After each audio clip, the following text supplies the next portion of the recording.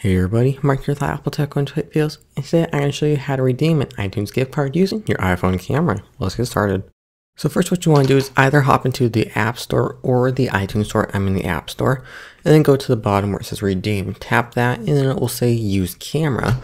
So then you just want to tap that and then it will launch your camera. Keep in mind this is on iOS 7 only, and you can also do this on your iPad. So you just bring in your gift card, put your phone right above it, make sure you get the whole thing in frame.